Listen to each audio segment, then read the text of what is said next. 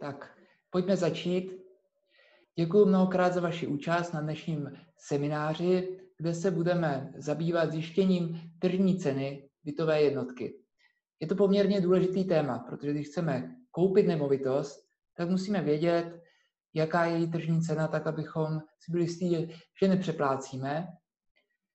A stejně tak, když prodáváme nemovitost, tak bychom si měli být jistí, jaká je tržní cena, abychom ji neprodali zbytečně levně, anebo naopak, abychom ji příliš uh, uh, nepřecenili a neprodávali zbytečně dlouho. Vlastně zjištění tržní ceny nemovitosti by mělo být tématem odha- nebo mělo by být schopností odhadců nebo znalců. Uh, za mě uh, není potřeba mít kulatý razítko a není potřeba mít eh, školu na to, abyste byli schopnými odhadci tržní ceny bytové jednotky. V rámci toho dnešního webináře si projdeme základní postup ocenění a v momentě, kdy ho budete praktikovat opakovaně, opakovaně, opakovaně, tak si myslím, že v relativně blízké době budete schopni ocenit bytovou jednotku velmi dobře podobně jako certifikovaný znalec a budete mít v tom letom nespornou výhodu v momentě, kdy to ocenění budete potřebovat. V dnešní době už pro to ocenění je poměrně dost dat, takže můžeme je využívat a je to situace, která je mnohem lepší, než byla třeba před čtyřmi, pěti lety, kdy těch dat pro ocenění bylo málo. Vlastně my si tady budeme říkat, kde ty data získáme, jak s nimi pracovat, jak postupovat. Ukážeme si na konkrétním příkladu bytové jednotky, jak ji ocenit.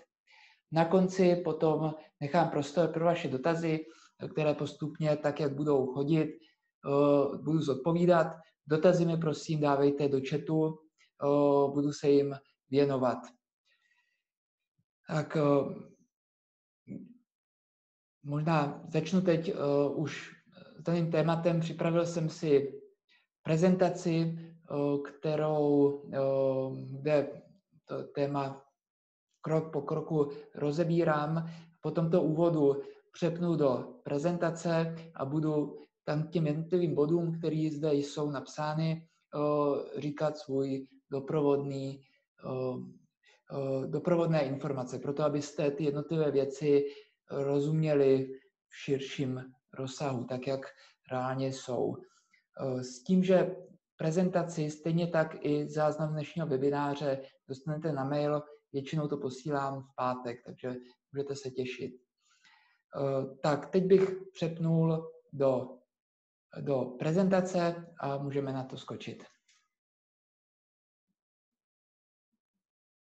Tak tohle je stručná osnova, takže nejdříve si řekneme, co je tržní cena bytu, pak si řekneme, co vše má vliv na tržní cenu bytu, pak projdeme postup, jak zjišťovat tržní cenu. A pak si ukážeme na praktickém příkladu bytu zjištění jeho tržní ceny. A nakonec uh, uh, si řekneme o situacích, jak řešit, pokud nemáme dost dat k tomu, abychom mohli ocenit um, bytovou jednotku. Tak Tedy k prvnímu, eh, první kapitole. Co je tržní cena bytu? Tak cena, je to cena, za kterou se prodávají srovnatelné byty, to znamená podobno, podobné výměrou hlavně, protože malé byty jsou dražší na metr čtvereční, střední byty jsou o něco levnější na metr čtvereční a nejlevnější jsou velké byty. Takže musí to být srovnatelné byty svojí velikostí. Ty byty by měly být v dané lokalitě. Každá lokalita má svoji hodnotu a zejména lokalita určuje tu danou hodnotu, takže když máme byt eh, v nějaké čtvrti, tak bychom měli hledat jenom prodeje bytu v té dané čtvrti, protože tam je velká pravděpodobnost, že ta cena bude velmi podobná. A ty prodeje by měly být uskutečněny v nedávné době, což znamená třeba půl roku, rok zpátky. Ceny nemovitostí se neustále mění, teď jsme měli nějaký období, kdy mnoho let rostly eh, a eh, tedy pokud bychom vycházeli z dat dva roky zpátky, tak by nebyly aktuální. Ideálně bychom měli jít zpátky maximálně půl roku, rok. Ty data o skutečných prodejích získáme z katastru nemovitostí. Eh, vlastně na katastru nemovitostí jsou uloženy všechny kupní smlouvy a v kupních smlouvách jsou i samozřejmě ceny, za které eh, ty jednotlivé strany prodávající a kupující si eh, ty byty navzájem převádějí. A my tedy potřebujeme mít přístup k těm datům z katastru nemovitostí. V současné době, je to jako několika, několik let zpátky novinka, máme možnost jednoduše ty data získat z aplikací, online aplikací, kde velká část území České republiky je zmapovaná a kde ty data o reálných prodejích jsou. V zásadě jsou to tři aplikace. Jedna je cenová mapa CZ, kterou provozuje společnost Octopus. Je to společnost, která mm, pracuje zejména pro realitní kanceláře, vytváří pro ně aplikace monitoringu a nějakých dalších služeb. Pak je, společ, pak je cenová mapa org, tak uh, ta je uh, vedena společností Deloitte, uh, kterou pravděpodobně jste měli možnost poznat. Je to velká poradenská mezinárodní společnost. Ehm, a třetím zdrojem je CEMAP. Já zejména pracuji s první cenová mapa CZ, cenová mapa org, s, s aplikací CEMAP nemám příliš mnoho zkušeností. Pak na závěr, pak, pokud vás to zajímá, tak můžu říct eh, rozdíly mezi cenová mapa CZ a cenová mapa org. Eh, tak abyste nějakým způsobem věděli, v jakou chvíli, eh, jakou aplikaci použít. Eh, já používám oboje pro různé nemovitosti a různé případy. Vždycky volím tu danou konkrétní. Tak teď k druhému, druhé kapitole. Tak co vše má vliv na tržní cenu bytu? Je potřeba říci, že na úvod, že není tržní cena jedna. Když si řekneme, že by nám analýzou vyšlo, že tržní cena bytu je 1 milion korun, to neznamená, že si to někdo nevymění nebo neprodá vzájemně za třeba 950 tisíc nebo milion 50 tisíc. Ta tržní cena není prostě, hmm, pouze jedna, vždycky záleží na nějakých konkrétních okolností toho daného prodeje. A ty okolnosti jsou zaprvé subjektivního charakteru, který nemůžeme jakkoliv e, kvantifikovat, prostě tak se to nějak stane. A ty subjektivní okolnosti můžou být na, buď to na straně prodávajícího, nebo na straně kupujícího na straně kupujícího. Může to být to, co určí, za kolik nakonec je ochoten danou nemovitost koupit. Tak eh, na to má vliv jeho motivace.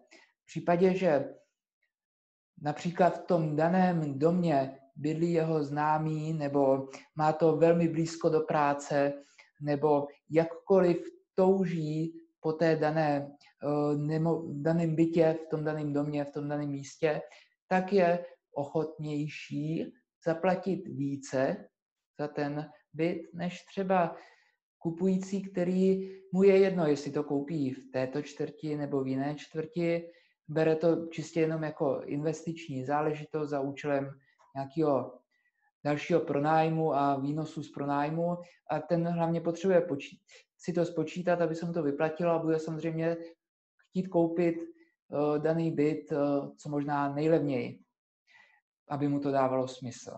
Takže ta subjektivní motivace, proč kupuje, je hodně důležitá v tom, za kolik je nakonec ten kupující ochoten to skoupit. Potom hodně hrajou roli i jiné nabídky v okolí, protože ten kupující se podívá na nějaký portál a uvidí, že ve čtvrti se prodávají ty a ty byty a uh, je naprosto myslím, je jasné, že když chce koupit, podívá se na všechny.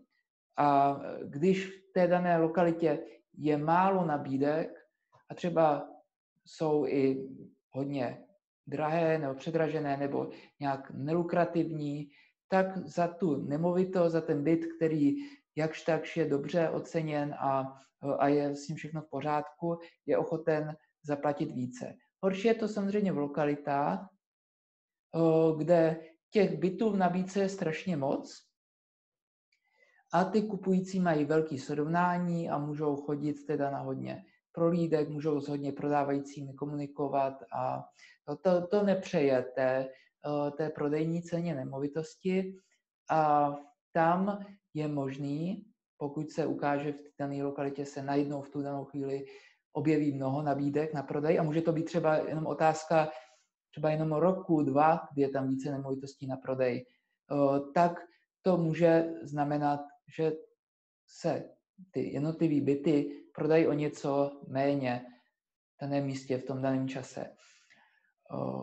Typicky se to děje v době, kdy v nějaké lokalitě je více developerských projektů spuštěný v jednu chvíli, nebo se to děje v době, kdy v nějaké lokalitě proběhne privatizace velké části bytového fondu, část těch vlast, budoucích vlastníků, kteří koupili ten byt v privatizaci, tak čekali na tu privatizaci proto, aby hned ty byty prodali a v jednu chvíli se tam ukáže více nabídek.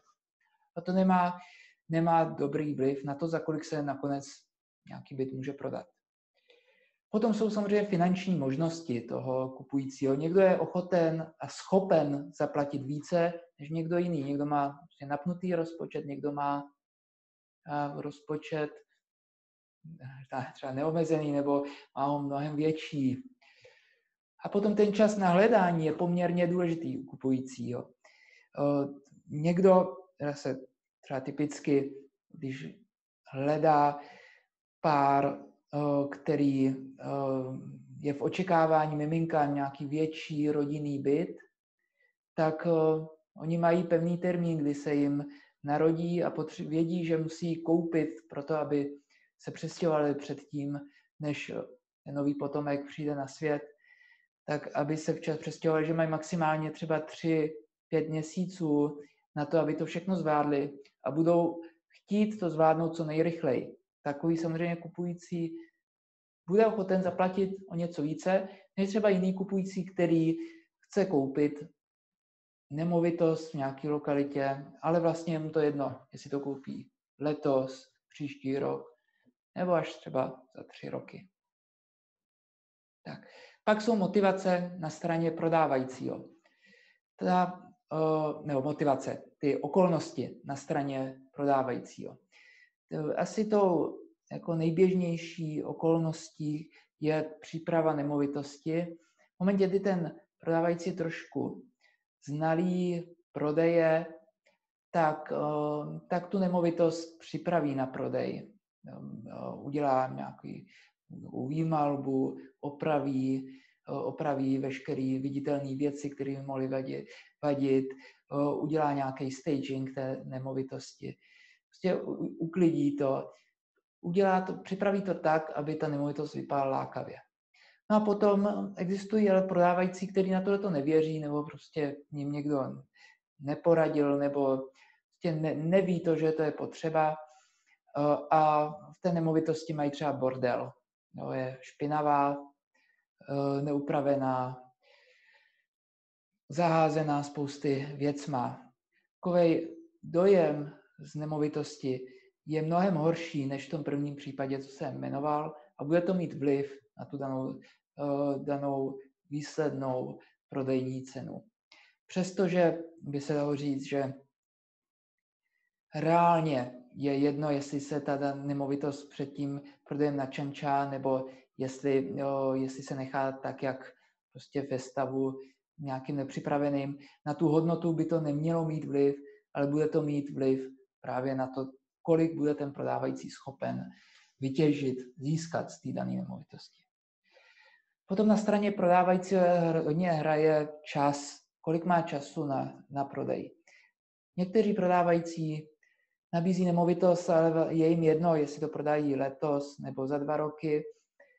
Oni třeba nepotřebují, a, ale, ale ty peníze, na které by měli z prodeje nemovitosti, nemají kam dát, takže vlastně je nic nehoní k tomu, aby to prodali za prostě, dá se říct, co nejdřív, za jakoukoliv cenu. Ale pak jsou prodávající, kteří s těmi penězmi počítají v nějaké dohledné době. Buď to si zarezervovali jinou nemovitost, kde musí doplatit část kupní ceny právě z prodeje této prodávané nemovitosti a je ten termín třeba za 3-6 měsíců. Nebo se musí vypořádat v rámci manželství, nebo uh, potřebuje nějaké peníze do podnikání. A může být jaký, mnoho důvodů, ale má před sebou nějaký konkrétní termín, do kdy to musí zrealizovat. Takový prodávající nebude se snažit z, té, z, toho, z toho prodeje získat za každou cenu co nejvíce, radši bude, když to bude zrealizovaný a ten termín uh, dodrží a podaří se mu to v tom daném čase prodat. Potom ta motivace toho prodávajícího je poměrně uh, důležitou okolností. Jsou prodávající, kteří typicky mají dluhy, uh, jsou ve stresu, potřebují peníze, ať už na zaplacení dluhů, nebo proto, aby se cítili dobře. Prostě chtějí to mít vyřešený co nejdříve. A pak jsou ty prodávající, který chtějí jenom na tom prodeji vydělat. Chtějí, vlastně je to pro ně nějaký hodnotný aktivum a je pro ně důležité, aby to prodali co možná za co nejvíce. Je to pro ně životní záležitost a budou koukat na každou korunu kterou z toho prodeje dostanu. Samozřejmě v tom prvním případě je ta pravděpodobnost prodeje za nižší cenu vyšší než v tom druhém případě. Potom existují osobní preference na straně prodávajícího. I prodávající si vybírá kupující. On může dát přednost někomu jenom kvůli tomu, že to příjemný člověk, přestože, přestože nabízí nižší cenu, tak si může říct, jo, ten člověk mě je sympatický. Může dát přednost sousedovi, Eh, před prodejem na trhu, kde by získal víc. Eh, s tím odůvodněním já souseda znám, eh, aspoň nebudu, mám to vyřízený, on je sympatický, nebudu muset tady dělat prohlídky, stejně nevím, za kolik se to prodá. No a ten prodávající to prostě prodá za, za nižší cenu, přestože by dostal více. Osobní preference může nejenom, že, se, že to třeba má jednodušší s tím daným s daným kupujícím, že ho zná nebo je mu příjemný. Může to být taky to, že mu ten kupující nabídne něco navíc, třeba, že v té nemovitosti bude moct bydlet tři měsíce nebo půl roku po prodeji. I to jsou důvody, proč by se daný byt mohl prodat o něco levněji.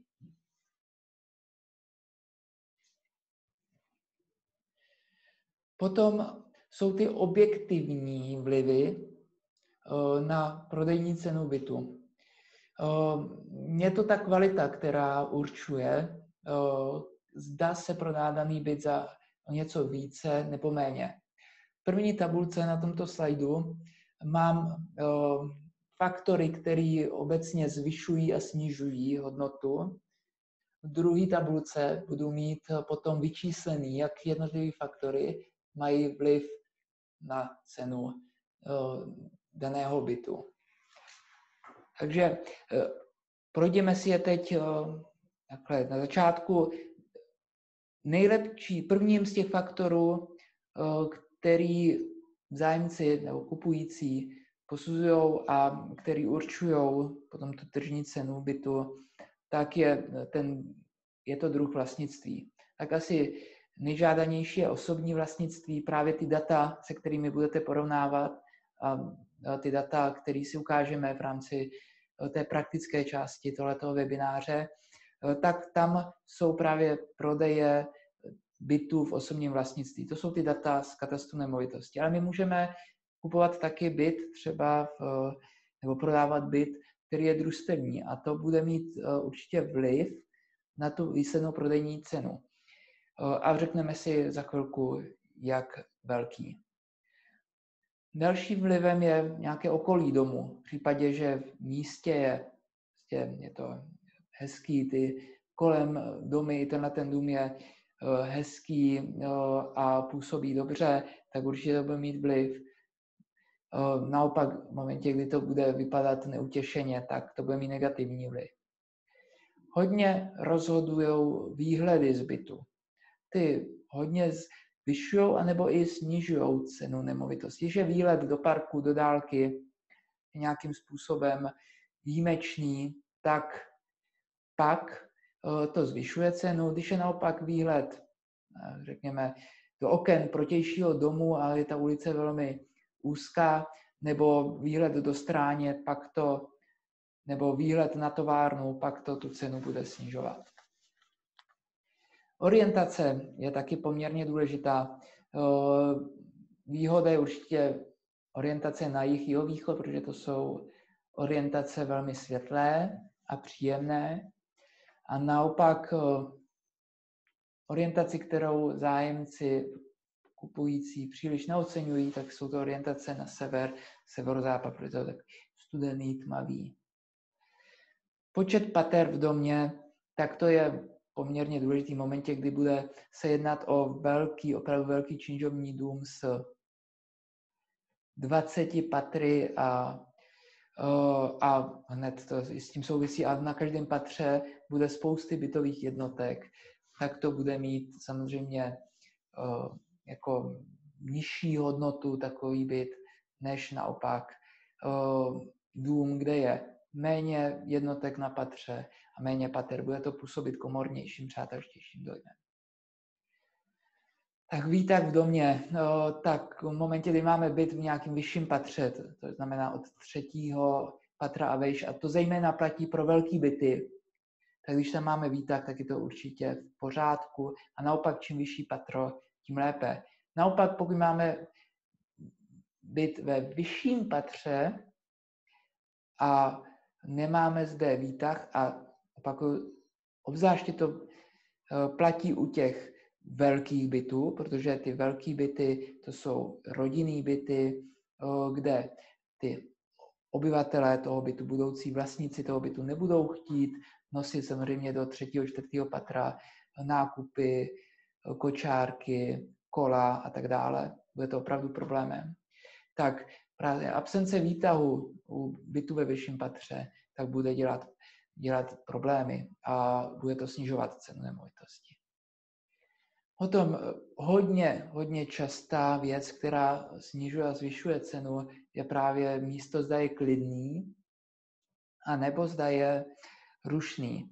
Samozřejmě výhodou je klidný místo, rušný místo je problém, protože v momentě, kdy otevřete okna, tak máte i ruch v daném bytě, často i, i při zavřených oknech se ruchu nezbavíte, není to vůbec příjemný.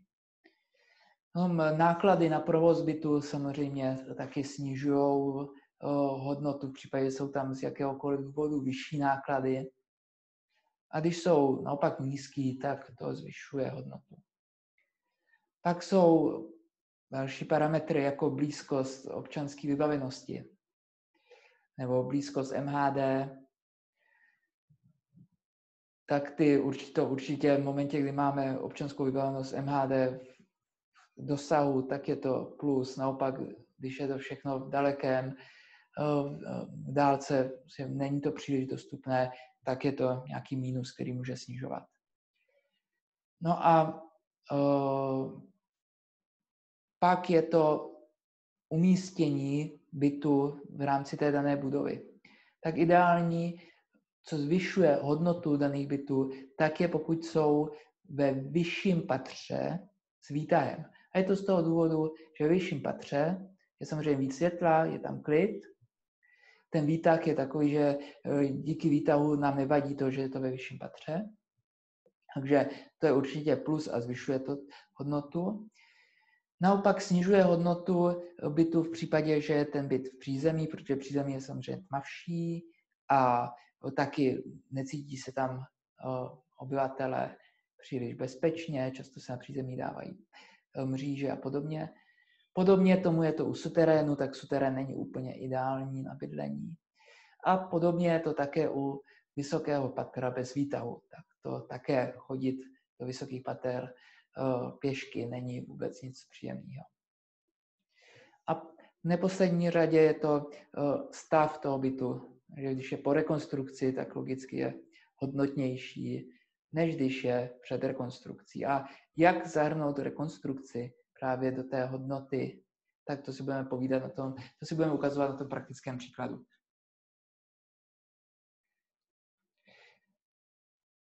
Tak já se ptám, slyšíte mě teď dobře? Je všechno v pořádku?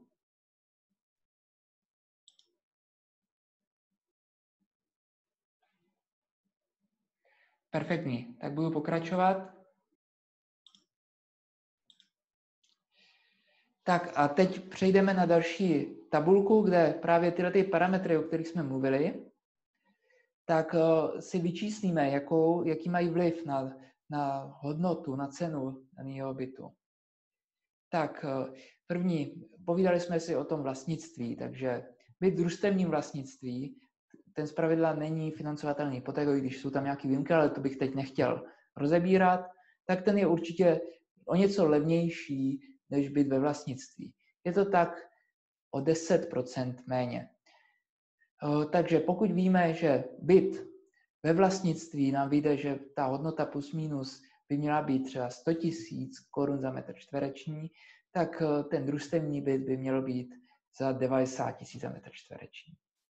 Potom jsou ještě jiné druhy vlastnictví, jako byt, který je podílovém vlastnictví v SRO, takže nepřevádí se daný byt, ale podíl v SRO, nebo to může jít, nebo může jít o kondominium. Takové nabídky se čas od času taky nacházejí a vlastníci, existují vlastníci, kteří byli a chtějí prodat daný byt, který není zapsán na katastru jako jednotka ve vlastnictví, ale jako podíl, bude se převádět podíl například v daném SRO. K tomu kupující mají jako spousty otázek a není to pro ně vůbec preferovaná forma vlastnictví a má to výraznější vliv na cenu, než je to družstevní vlastnictví, který je relativně běžný v Čechách. Řekl bych, že podíl v SRO může mít vliv až minus 20% oproti bytu ve vlastnictví. Takže byt ve vlastnictví vyšlo by nám, že má hodnotu 100 000 za metr, kdyby se prodával jako podíl v SRO, byl by o 20% levnější. Pak máme tady uh, patra, byt v přízemí je o 10% levnější než byty v patře. Byt v posledním patře panelového domu je taky o 10% levnější než v jiných patrech a to z toho důvodu, že poslední patro v paneláku není preferované. V létě je tam horko, v zimě je tam zima, je tam nějaká, nějaký riziko uh, zatékání. Um, je většinou se to projeví v té tržní ceně nemovitosti. Pak máme byt ve vysokém patře bez výtahu, tedy typicky třetí patro bez výtahu. To platí obzvláště u velkých bytů. Jo? U menších bytů třetí patro, třeba u 1 KK 25 metrů čtverečních, tam ty vysoký patra až takovou roli nehrají, protože tam ten kupující i ten nájemce toho daného bytu je dost pravděpodobně mladá osoba, který až tak nemusí vadit to, že byt je v takhle vysokém patře a prostě jako mladí lidi tohle to neřešíme. Ale v momentě, kdy se jedná o velký byt, tak tam už ty uživatelé, budoucí uživatelé toho bytu budou to absenci výtahu hodně řešit, takže tam bych očekával, že se to propíše do té hodnoty až poklesem o 10%. Byt v suterénu je nějakých 20-30% levnější než byty v patře. Byt na rušné ulici taky minimálně nějakých 10% levnější než byty, které jsou třeba ve stejné čtvrti, ale o blok vedle, kde už ten ruch není. Byty ve, s dobrým výhledem, ideálně třeba i ve vysokém patře. Dobrý výhled znamená do nějaké zeleně, do dálky, prostě tak, že přijde k tomu oknu a řekne si, a to je, to je hezký, tak to má velmi pozitivní vliv na tu výslednou prodejní cenu, třeba minimálně těch 10%. Pak existují byty, které jsou velmi tmavé, můžou být orientované do stráně, do protějšího domu, který je strašně blízko. Může to být orientace na sever, prostě ně, něco, co dělá ten byt výjimečně tmavým, tak to má negativní vliv, i 10%. Potom jsou to dispozice. To bychom asi na to potřebovali samostatný eh, webinář. Ve zkrátce řeknu, že ideální dispozice jsou takový, eh, který, eh, kde všechny místnosti jsou přístupné schodby. Takže my vejdeme do daného bytu a vlastně do kuchyně můžeme vejít z centrální chodby, do bývacího pokoje, do ložnice, na toaletu, do koupelny a, po, a podobně. Jakmile je tam nějaká průchodnost, to znamená, že musím například eh, jít do obývacího pokoje, abych potom byl, mohl jít na toaletu nebo do koupelny, tak potom už tam ta dispozice není ideální už to může mít vliv na tu tržní cenu nemovitosti. Že všechny místnosti by měly být přístupné z chodby tak, aby byla maximálně jednoduše využitelná ta nemovitost. Nepřizpůsobiví sousedé. Tak to je velmi dobrý téma. Nikdo nechce kupovat byt, pokud eh, pod vámi, nad, pod tím bytem, nad bytem, vedle bytu žijí problémoví lidi. To je věcí, která výrazně snižuje cenu daného bytu. Ani to nemusí být třeba v rámci domu, může to být i ve vedlejším domě. Může tam být nějaký asilový dům, může tam být ubytovna, může tam být ně, může bezprostřední blízkosti, pokud máte problémový uh, nepřizpůsobivý sousedy, bude to mít výrazný vliv na tržní cenu.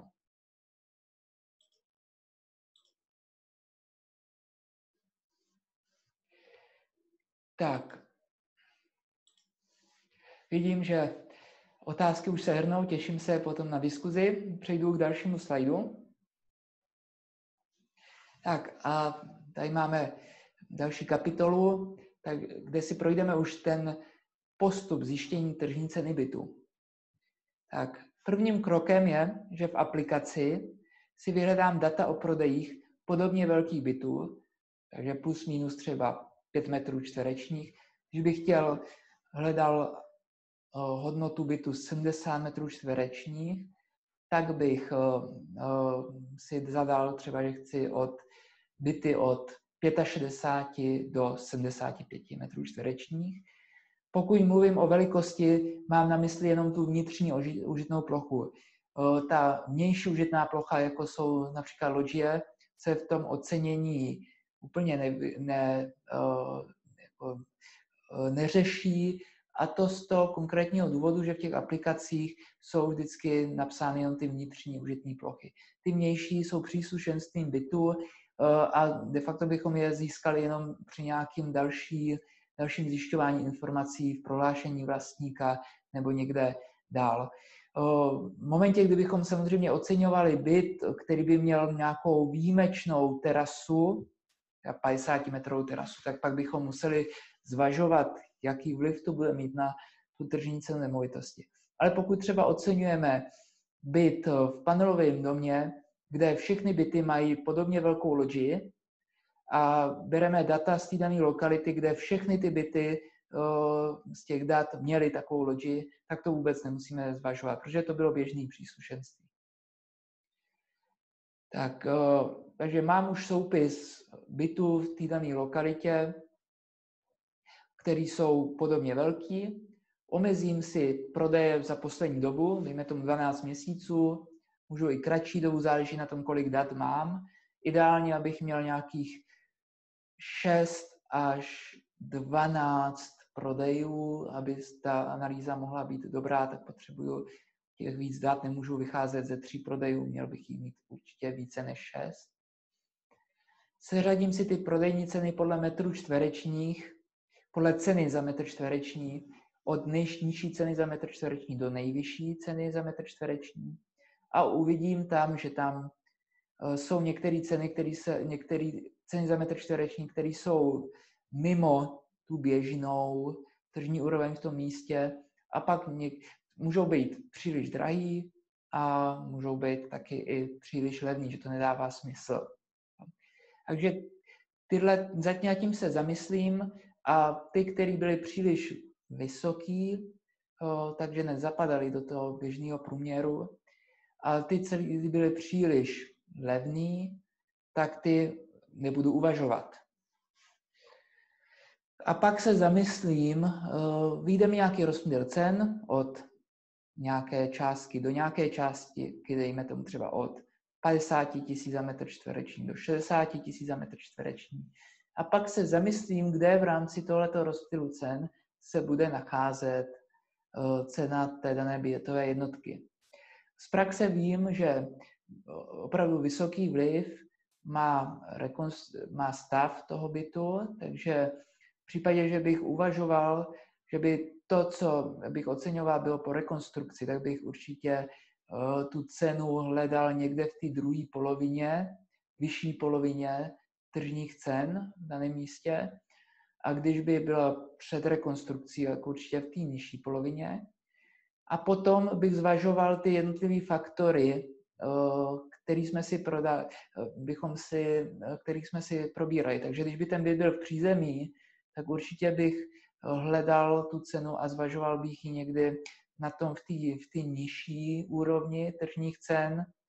A když by to bylo třeba ve vysokém patře s výhledem, tak naopak někde, někde více. Ukážeme si to potom na tom příkladu té bytové jednotky. No a řeknu, když mám ten rozptyl, řeknu si, tak asi pravděpodobně ta cena by se pohybovala v této úrovni, tak potom tu cenu za metr čtvereční, která mě vyšla, vynásobím tou velikostí dané bytové jednotky a vyjde mi cena, která by měla být plus minus tržní. Jsem říkal, nemusím to precizovat úplně na korunu, jak jsme říkali, jsou ty subjektivní okolnosti, které uh, rozhodují, takže některý jiný kupující je ochoten to koupit za více, někdo za méně, jiný prodávající je ochoten prodat za více, který za méně, takže plus minus 5% se ta cena může pohybovat podle těle těch subjektivních okolností. Tak podívám se na chat, jestli je nějak, nějak něco, problém. Tak jsou, problém není, jsou dotazy, tak výborně, budu se jim věnovat a nyní pojďme na příklad. Takže budeme oceňovat byt 3 plus KK, o velikosti 75 metrů čtverečních plus loďie. Tu loďii, jak jsem říkal, nebudeme zvažovat.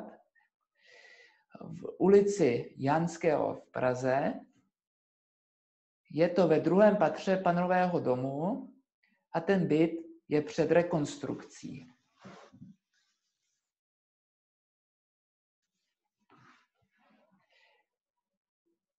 Tak, a tady jsou fotky, takže vidíte zateplený panelový dům, původní kuchyňskou linku, umakartový jádro, podlahy původní, nějaká původní, no, je přes ní není nějaká plovoučka, ale eh, není to žádný zázrak. Pak dispozice, to je klasická. Klasická dispozice bytů, velké části bytů v panelových domech v Praze. Tak, a to ocenění udělám v aplikaci cenová mapa CZ, že se prokliknu teď. Tak vstoupíme do aplikace. Kliknu na byt, byl v ulici Janského. Janského stodůlky, to je ta ulice. Kliknu na prodej.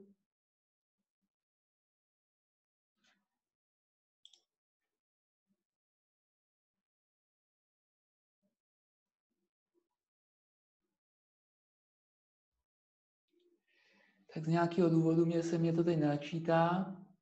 Perinku. Jo, už se to načítá. Skvělý. Tak, teď vidím, tady je označená ulice Janského. Já tu lokalitu znám pro, no, dá se říct, názorný příklad. Jsem vybral velmi jednoduchou lokalitu, kde jsou kde je většina panelových domů, je to velmi kompaktní území, kde ta cena bude velmi podobná většiny těch bytů tom daném místě. Zvolil jsem právě tento jednoduchý příklad záměrně, tak abych vás nepletl. Pak samozřejmě existují lokality, které jsou složitější, kde je potřeba více in, investigace. Tak nakreslím si oblast, kterou budu chtít eh, proskoumat a ve který budu chtít zjistit právě ty prodejnice nemovitostí, tak je to tenhle ten blok. Hotovo. Kliknu. Tak a teď se mě načítají data o skutečných prodejních cenách. Nejsou to nabídkové ceny, ale jsou to data z katastru nemovitostí, skupních smluv, takže velmi relevantní zdroj informací k porovnání. A teď s těmi daty budu pracovat. Tak. Vidím, že tady mám teda zdroj dat kupní ceny z katastru nemovitostí, stáří dat 12 měsíců pořádku, jsou to byty v pořádku. A teď si vyberu konstrukci budovy, tak víme, že to je panel. Tak, teď se mi to omezilo na panelové byty. Stáří budovy nebudu řešit, protože víme, sídliště bylo postavené v jednu dobu, ty domy jsou všechny starý, který jsem si tady označil. Místnosti také nebudu řešit, mě zajímá zejména plocha. V rámci té aplikace chci říct, že žádná aplikace nemá úplně přesně zmapováno, jaký jsou dispozice daných bytů, takže místnosti bych si vůbec neomezoval. Jediné, co bych řešil, skutečně jsou ty, ta, je to ta velikost a konstrukce budovy a teoreticky v některých příklad, případech je to stáří. Tak plochy bytu řekli jsme si plus minus 5 metrů čtverečních a řekněme, tady to dám co širší, protože vím, že v té lokalitě jsou i nějaký 68 metrový byty, ten náš je 75. Řekneme, já to dám od nějakých 65 metrů čtverečních do nějakých 80 metrů čtverečních. To by měla být plus minus velikost kolem velikosti toho bytu, který oceňujeme a ten má 80, 75 metrů čtverečních.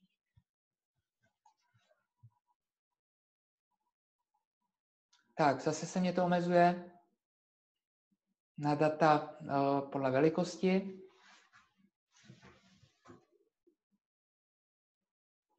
No a, a mám tady už teda uh, ty jednotlivé velikosti. Eh, teda jednotlivé ceny za metr čtvereční. Tak tady vidíte to zelený, tak to je cena za metr čtvereční, červený to je celková prodejní cena, velikost, ulice a tady ještě, jak jsou ty čárky, tady můžeme získat další informace, jaký to bylo číslo jednotky, kdy byl postavený, no, nějaký vkladem, jakým byla ta nemovitost převedená a podobně.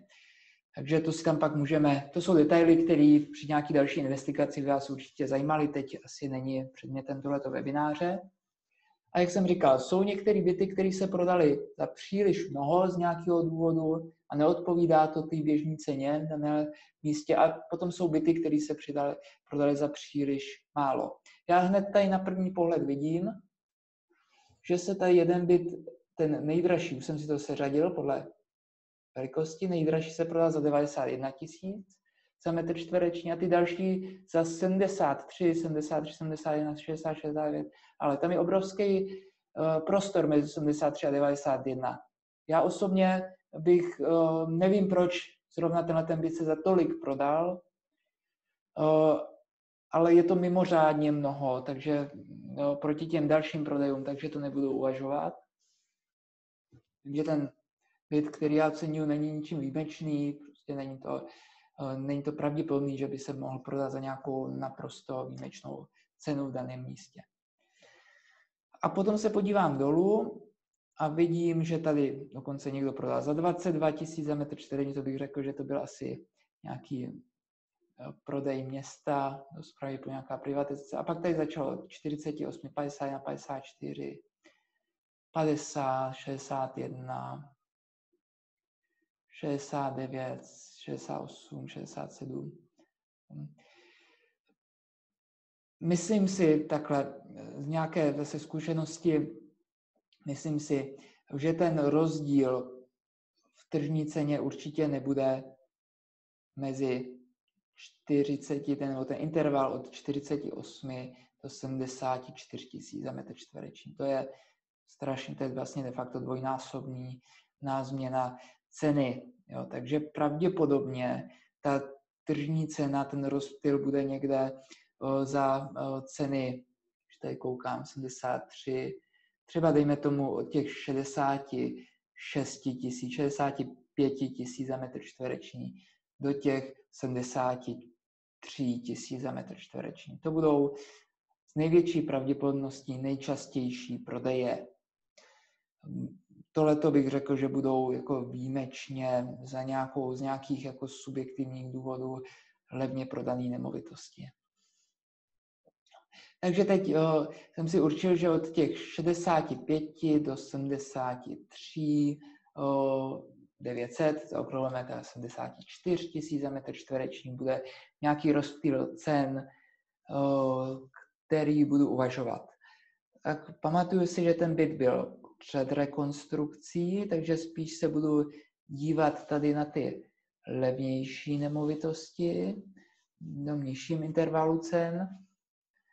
No a potom uh, vím, že byl ve druhém patře, což je jako dobrý, není to přízemí, to je jako dobrý, to má svoji hodnotu. No a nějaká další věc, která by tam nějak zásadně zvyšovala, snižovala cenu, tam, tam nebylo. Takže Janského je klidná ulice, no, tam taky nebude jakýkoliv, jakákoliv věc, která by jak snižovala, znižovala hodnotu. Takže je to před rekonstrukcí, takže v tom nižším. Takže dejme tomu, že bych viděl tu cenu někde třeba kolem 68, 69, možná 70 tisíc za metr čtvereční. Je to před rekonstrukcí, ty lidi se budou tam muset eh, nainvestovat nějaký peníze, ale zase na druhou stranu je to v druhém patře, no, takže je to jako dobrá, eh, dobrá poloha v rámci toho domu a není tam jakýkoliv problém s ruchem a tak dále, takže někdo by to mohl ocenit poměrně dobře.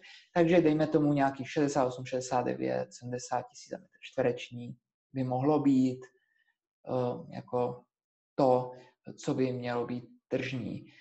Tuhle tu cenu si teda vezmu a vynásobím si tou velikostí 75 metrů, což je ta vnitřní užitná plocha, a vyjde mě ta tržní cena nemovitosti. V momentě, kdy, mm, kdy mě vyjde nějaká částka, tak potom je možností ještě si ověřit to, co se aktuálně nabízí v rámci jednotlivých nabídek, třeba na Eserality, podívat se, za kolik se tam nabízejí podobné byty, ověřit si, jestli ty nabídky jsou o něco vyšší nebo nižší, nebo nějakým způsobem si to analyzovat a usoudit, jestli jsme se v tomto intervalu i trefili s tou aktuální nabídkou. Asi nejčastějším jako závěrem, který bychom měli udělat, je to, že ty byty, které se nabízejí v rámci například těch SRI, by měly být o něco dražší, málo, o něco málo dražší, třeba o 5-10%, než to, co nám vyjde touhletou analýzou, pak si můžeme být relativně jistý, že nám ta analýza vyšla dobře. Možná si teď řeknete, že proč teda používat teda data takhle z katastru nemovitostí, tak za mě uh, uh, a proč, proč používat data z katastru a nejít rovnou na třeba SRality. Na mě my nikdy nemůžeme vědět, zda na SRalitách jsou ty nabídky uh, předražený o 5, 10%, 15, 20. Takže ty data z skutečně tržních cen jsou pro nás mnohem důležitější a bereme to jako ten výchozí Eh, bod, ze kterého se snažíme usoudit tu tržní cenu. A ty S-reality bereme jenom jako nějaké potvrzení toho, že jsme se nepletli. Tak, teď přeskočím na svoji prezentaci. podívám se, jestli nemáte nějaký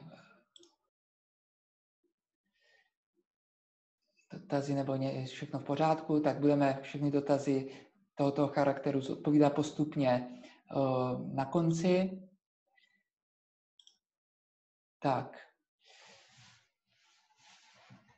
Tak a teď poslední bod prezentace. Jak řešit nedostatek dat k ocenění? Tak eh, může se stát tady, jsem vybral lokalitu záměrně velmi jednoduchou, kde i těch dat spousty, ale může se stát, že si vybereme lokalitu, kde těch dat je relativně málo. Jsou prostě oblasti, kde eh, se toho příliš mnoho neprodá. Eh, první možností, jak se s tímto vyrovnat, je, že můžeme prodloužit tu dobu, za kterou ty eh, dané prodeje zjišťujeme. Takže já jsem měl v té, té aplikaci zaškrtnuto 12 měsíců, ale můžeme tam dát třeba i 36 měsíců. Samozřejmě musíme se pak vyrovnat to, že pokud došlo ke změně cen nemovitostí v těch uplynulých letech rostly, takže ty prodeje, které byly třeba před třemi lety, musíme o něco navýšit ty ceny, to samé ty před dvěmi lety a tak dále. O kolik ceny nemovitostí zrostly, tak to si můžeme ověřit nebo zjistit na Českém statistickém úřadě. Existuje index změn cen nemovitostí, můžete si vygulovat tabulku, Samozřejmě není to stoprocentně přesný, ale může to být nějakým vodítkem pro to, jak navyšovat ty ceny, pokud pracujeme s nějakými staršími prodeji. A druhou možností je rozšířit danou lokalitu. Pokud víme, že v okolí je podobná lokalita s pravděpodobně podobnou hodnotou, tak eh, zjistit i data tyhle dané lokalitě a posuzovat je. Tady je to velmi ošemetný. My musíme znát velmi dobře to dané místo, abychom mohli usoudit, že jiná lokalita, kterou, eh, ze které data bereme, je srovnatelná s tou, kterou zrovna posuzujeme. Eh, velmi dobře se to dá asi používat u ocenění pozemků, eh, kde, který jsou v obcích, pokud je několik obcí, který mají podobnou občanskou vybavenost a jsou blízko 2-3 kilometry od sebe a svým charakterem jsou velmi podobný, tak si myslím, že tu cenu pozemku můžeme brát jako velmi, velmi podobnou ve všech třeba těle těch obcích a nemůžeme, nemusíme se spolehat jenom na ta z jedné jednotlivé obce. A to už jsem odbočil od bytu, takže pardon. Tak a teď jsme se dostali na závěr a já dám teď prostor vašim dotazům. Viděl jsem, že jich tam je spousty, tak pojďme na to.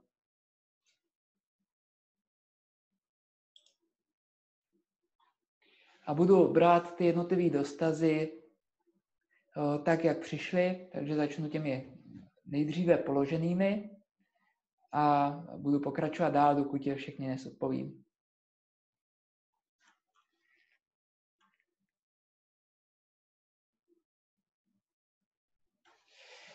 Tak pan Radek, jaká je doporučená doba, kterou by si měl prodávající vyčlenit na prodej bytu? Nějaké průměrné doporučení. Tak eh, tohle tu, tenhle ten dotaz nebudu zodpovídat, budeme se věnovat v nějakým jiném webináři, eh, kde budeme právě strategii prodeje řešit.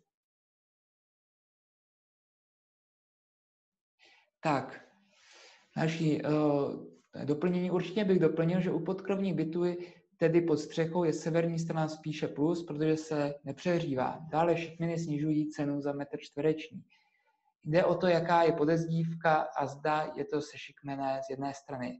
Z jedné strany je to minus 15 obou stran, 30 pro, minus 15% obou stran, 30%, protože vše musí být na míru, nemáte kam dát běžný nábytek. Ano, určitě podkrovní byty je potřeba zvažovat separátně, to, ty šikminy snižují užitnou hodnotu, Eh, nebo užitnou podlahovou plochu, jsou i nepraktické orientace na, na jih nebo na západ, může být jako teplý. Takže ano, určitě u podkrovních bytů je potřeba více analyzovat. Nepřizpůsobí si se, jak to, to zjistit včas? Tak eh, zase tenhle ten dotaz budeme probírat, eh, budu dělat, ještě řeknu, a dělám teď webináři každý týden a budeme to probírat v Eh, webináři, který se bude týkat prověření koupě, pověření bytové jednotky před koupí. Další dotaz. Někde jste zmínil, že hodnotu rozhodně zvyšuje parkovací stání či garáž napojená na dům s tím, že se dá projít vnitřkem až do domu. obzvláště na sídlišti, kde parkování je stále větší problém. Hodně jsme řešili, že byt v suterénu či přízemí, kde jsou nezadné mříže, je problém. Lze řešit před okení zamykatelnou roletou a nerozbitým sklem. Takže nejdřív začnu s tím parkovacím stáním. Tak pokud oceňuju byt v, v místě, kde není běžné parkovací stání, to znamená, dejme tomu, že je to lokalita, jak jsme měli panelovou dům, je to lokalita, kde nikdo nestavěl suterénní garáže a kde většina těch bytů nemá parkovací stání, tak určitě parkovací stání má svoji hodnotu a musíme ho ohodnotit separátně. Nemůžeme říct, že cenu bytu navyšuje parkovací stání o 10%, protože by to bylo zavádějící, ale musíme vědět, jakou hodnotu má parkování v daném místě a vědět, za kolik se daný parkování může v daném místě tedy prodat. A o tuto částku, co má je hodnota parkovací stání, navýšíme tu hodnotu bytu. Nebudeme brát v úvahu hodnotu parkovacího stání v developerském projektu, kde všechny byty mají v příslušenství parkovací stání. Pak je to běžně příslušenství, podobně jako je to ta loďie u toho, u toho paneláku. Všichni ty byty v tom paneláku mají loďie. V tom developerském projektu všechny byty mají parkovací stání, pokud jsou samozřejmě stejně velká, tak a stejně velký parkovací stání, tak nebudeme brát úvahu. Ale něco jiného by bylo, kdyby v tom developerském projektu měla většina parkovací stání a pak by tam bylo pár bytů, který by mělo svoji garáž zamykatelnou. Tak pak samozřejmě to má vliv na tu hodnotu. Stejně tak, kdyby většina bytů tam mělo jenom jedno parkovací stání, ale zrovna ten byt, který my prodáváme nebo chceme koupit, měl dvě parkovací stání, pak to musíme taky zahrnout. Takže řešíme v tom ocenění jenom ty výjimky, pokud to není běžným příslušenstvím v rámci té dané místy.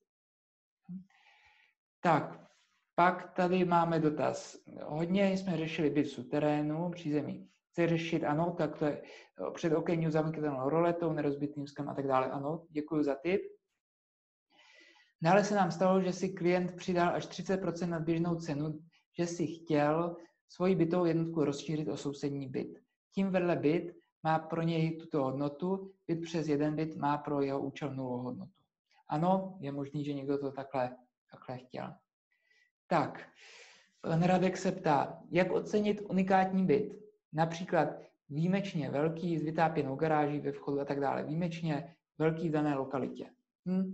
Tak to je eh, skutečně problém. Pokud máme eh, v dané lokalitě byt, který jak říká, výjimečně velký, to znamená třeba na příkladu, Jedna lokalita, tam si běžně velikost bytu třeba kolem 40-50 metrů čtverečních, stavělo se to v jednu dobu, byla to taková lokalita, kde, eh, kde se nic většího nestavilo a my tam chceme koupit nebo prodat něco, co má 90 metrů nebo 100 metrů, tak eh, máme problém. A pravděpodobně bych vycházel z nějakých srovnatelných lokalit v nejbližším místě, kde se i ty velké byty nacházejí. Eh, a případě, že ten velký byt má ještě nějaký další plus, jako například garáž, eh, tak bych se zajímal, jaká je hodnota garáže v daném místě a přečetl bych to potom v té hodnotě.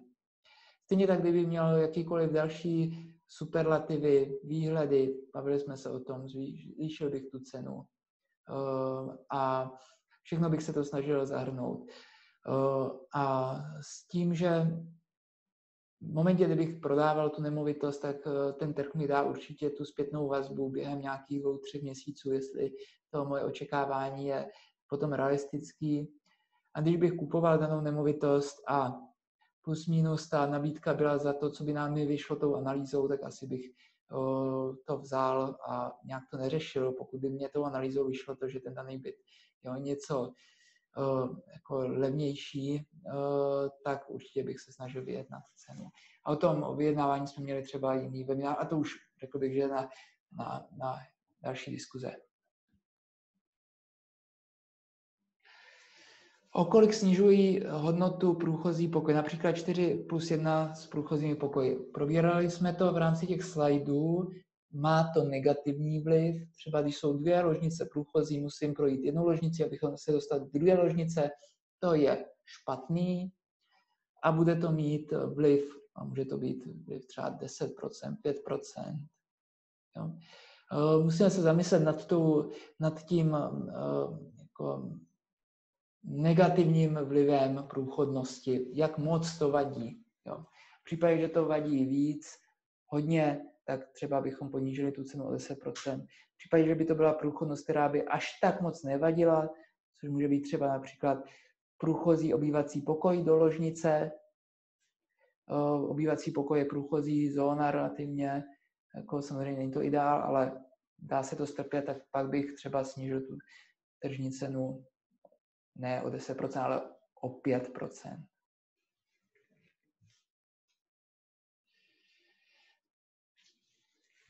Tak další, eh, další hm, komentář. Ano, půdorys bytu je velice důležitý, tedy byt s čtvercovou chodbou je cenější než s dlouhou tálou chodbou. Ano, průchozí pokoje, to je problém, de facto trend je, aby se každý zavřel do své místnosti a měl soukromí. Ano, to jste velmi trefně popsal. Tak, dotaz. Co když data za poslední 12 měsíců nejsou, ale jsou data z předchozí let, lze nějak využít, tak uh, předpokládám, tenhle ten dotaz jste dával ještě ve chvíli, kdy jsem se dostal na závěr svého, své prezentace, takže to považuji za vyřešené. Mirek, máte už nějaké signály, jak se vyvíjí ceny bytů od covidu, jestli už reálně klesají, případně ve kterých městech se hýbou?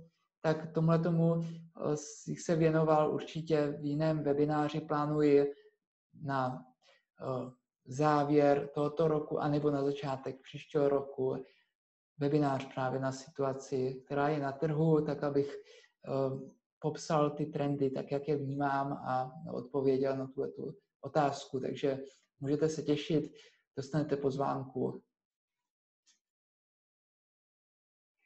Naší, naš komentář přízemí si zabit zase připlatí zájemci, co třeba tělesně indisciplinovaní, na vozíku s protézou a tak dále. Každý byt má svého zájemce, naopak zase v horním patře zase uvítá někdo, kdo zažil, že nad ním dupe permanentně rodina, či byl několikrát sousedy vytopen.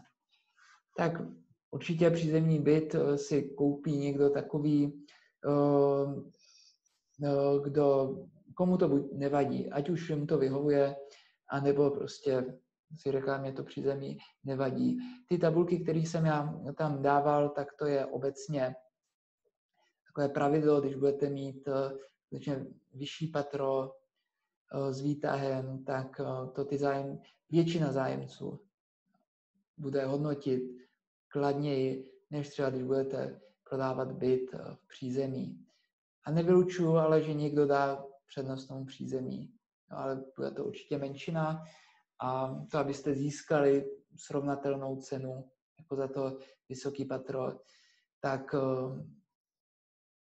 pravděpodobně budete muset hodně dlouho čekat.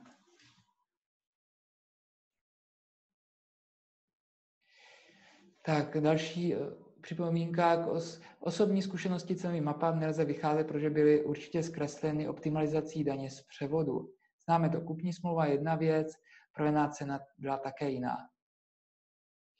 No, já si ta nemyslím, že by 99% kupujících a prodávajících fixovali v kupních smlouvách kupní ceny právě proto, aby uh, ušetřili na daně, daně z nabití. Uh, jsou takové tendence u nějakého množství případů, jestli bych řekl, že to je třeba 10%, v drtivé většině ty data jsou skutečně reálně, reálně to, že tam žádná další platba navíc neproběhla. Takže si myslím, že se velmi dobře z toho dá vycházet.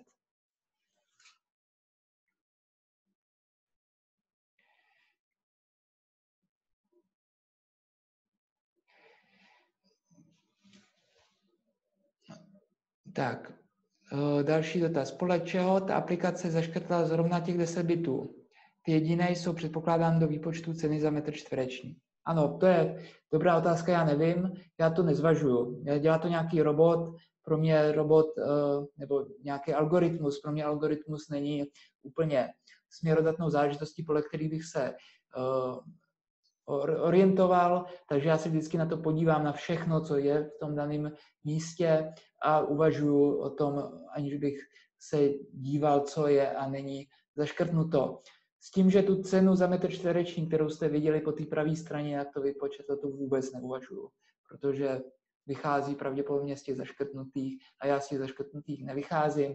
Vždycky se snažím dívat na všechny ty data a udělat si v tom logický pořádek, tak aby náhodou, když by ten algoritmus té aplikace udělal chybu, tak aby eh, já na základě této chyby neudělal zase já odhadu té tržní ceny taky chybu.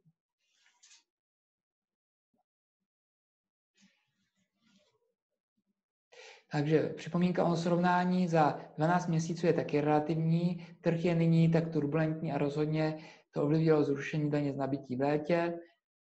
Není, že to kleslo o 4%, ale naopak si to majitelé skokově nechali navíc. Ano, podle mého názoru nejvíce, co ovlivňuje tržní cenu, je, kolik je ochotná banka za danou zástavě půjčit a to je hlavní. Tak určitě ta zástavní hodnota má vliv. Ty banky vycházejí právě z těch reálních tržních cen.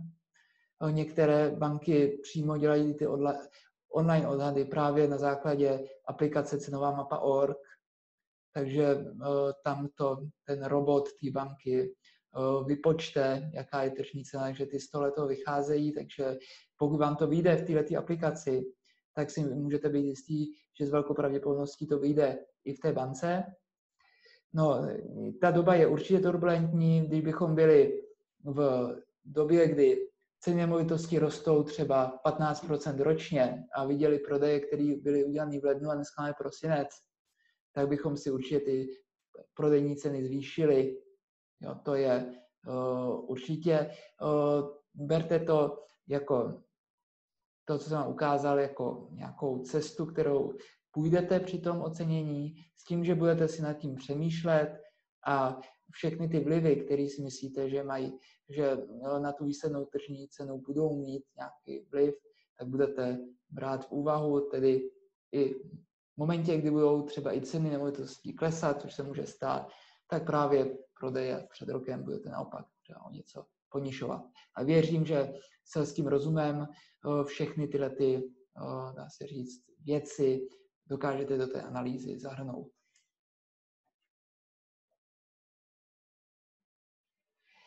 Terasa. Kdy CCA je to luxus zvyšující cenu? Ano, eh, terasa, pokud v daném místě je ta terasa exkluzivní, to znamená, že je nějaká výjimečná v tom daném projektu, v tom daném domě, tak to má vliv, pozitivní vliv na tu cenu nemovitosti a měli bychom to, tu cenu navýšit. Eh, určitě eh, bychom měli v tom ocenění vycházet eh, z té vnitřní hodnoty metru čtvereční toho bytu a běžně se říká, že terasa je, je ten metr čtvereční terasy je nějakých 30% hodnoty vnitřní plochy toho hodnoty nebo hodnoty metru čtvereční vnitřní plochy toho bytu.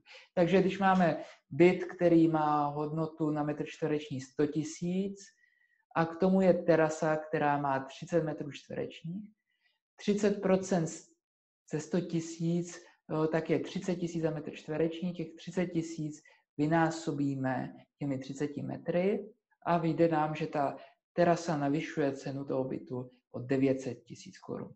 Je to nějaká pomůcka, nemusí být samozřejmě 100% správná, může se jednat o nějakou exkluzivní nemovitost, že to nejenom je terasa velká, ale ještě terasa s výhledem třeba na, na Vltavu, jo, nebo do parku, nebo něco naprosto exkluzivního, tak samozřejmě pak bychom nad tím museli taky nějakým způsobem přemýšlet a zahrnout to ocenění. Chci se zeptat, můžete z vlastní praxe vyjádřit v procentech, kolik je prodávajících z celkového prodeje, to znamená motivovaných proti těm, co mají relativně hodně času? No tak, takhle ještě, no, takhle, já jsem uh, odmítl odpovědět teď několik dotazů, které uh, se týkaly týkaly něčeho jiného, než je tenhle ten téma tohleto webinaře. Asi podobně bych to udělal i s tímhletím dotazem. Potom na závěr napíšu svůj telefonát, telefon do, do chatu v případě, že byste mi chtěli, měli jste nějaký urgentní dotaz, který byste chtěli prokonzultovat s odpovědí, tak mě zavolejte a zítra, pozítří nebo jakýkoliv den a projdeme to spolu. V případě, že by se nejednalo o urgentní dotaz, pak budu rád, když budete sledovat moje webináře a, a určitě tam ty dotazy, které jsou na jiný témata, než co je téma dnešního webináře, budou zodpovězeny.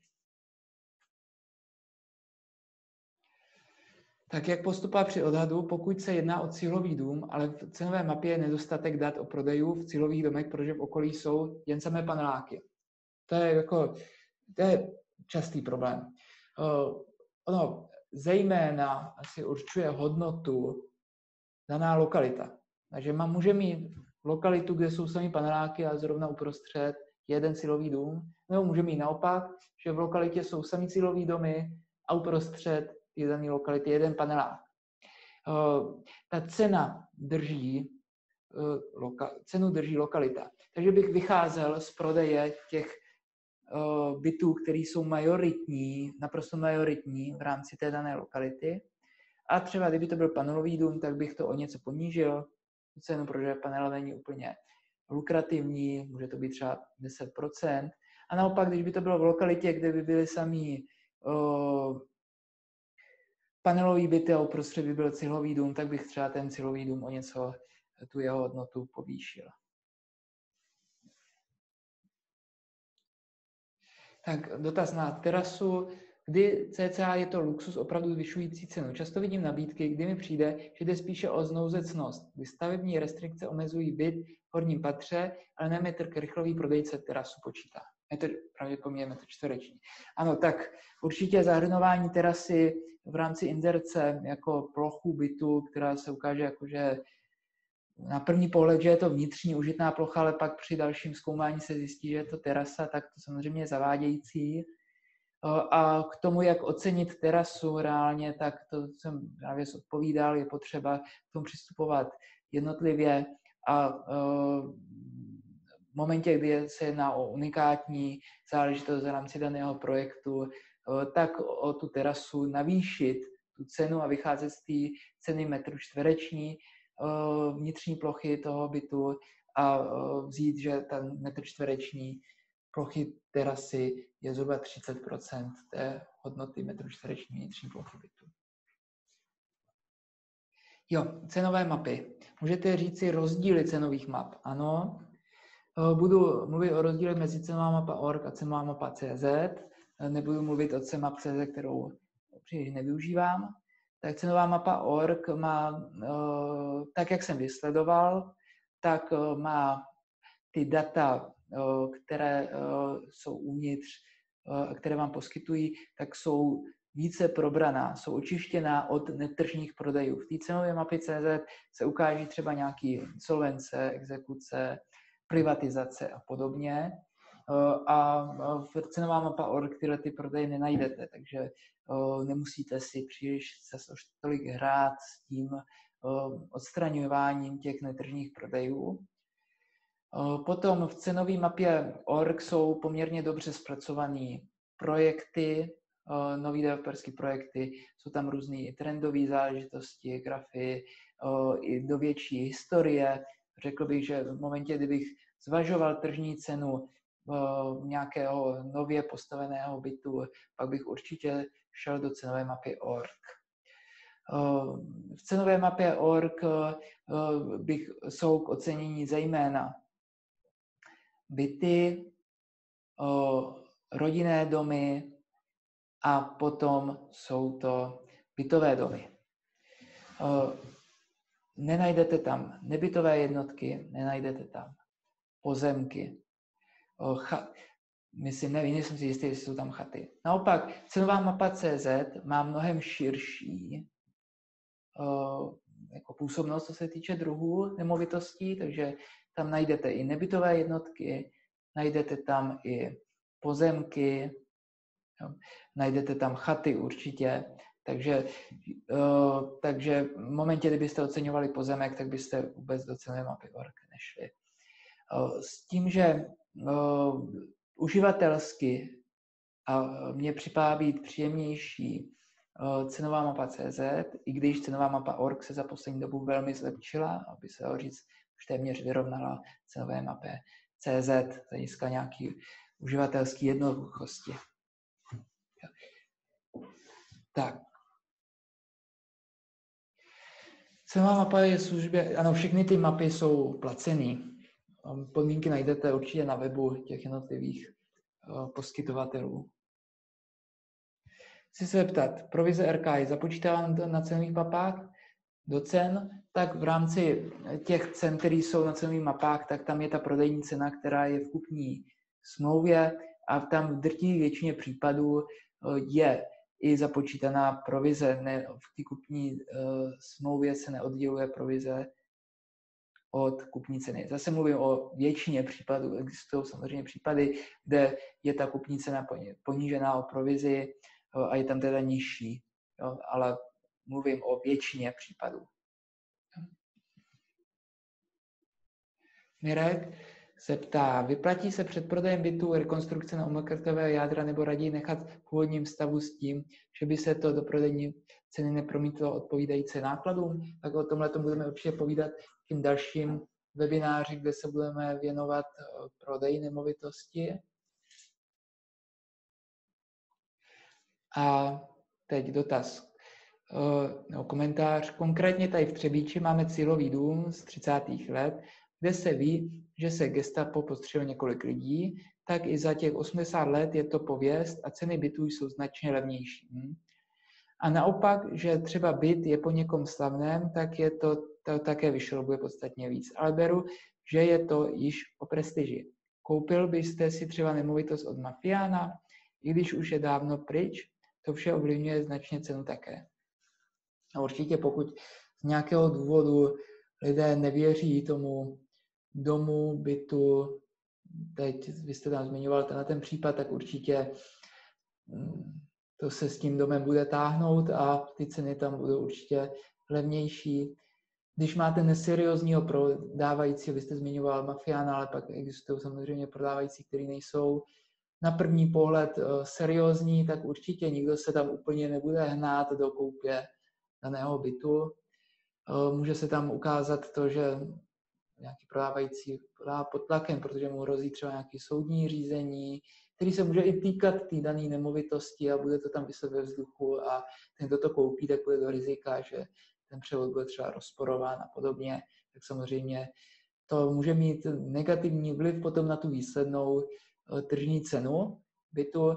Já osobně bych zvažoval ty konkrétní rizika eh, dané koupě a samozřejmě, když by byly příliš vysoký, tak bych do toho nešel když by byli přijatelní, kdyby to šel, ale bylo by to asi moje osobní, subjektivní rozhodnutí a záleží by na konkrétní situaci, kdy bych asi vymýšlel příliš mnoho příběhů eh, a příkladů. Tak, vypadá to, že eh, všechny dotazy zatím jsem zodpověděl, dám minutu, dvě na to, abyste dali případně další dotazy. Máme ještě 6 minut na to, abychom zodpověděli, co potřebujete, nebo zodpověděl, co potřebujete. Jinak, pokud zatím nemáte dotazy, můžu se zeptat, jestli webinář splnil očekávání, jestli ty informace, které jste potřebovali, jste získali.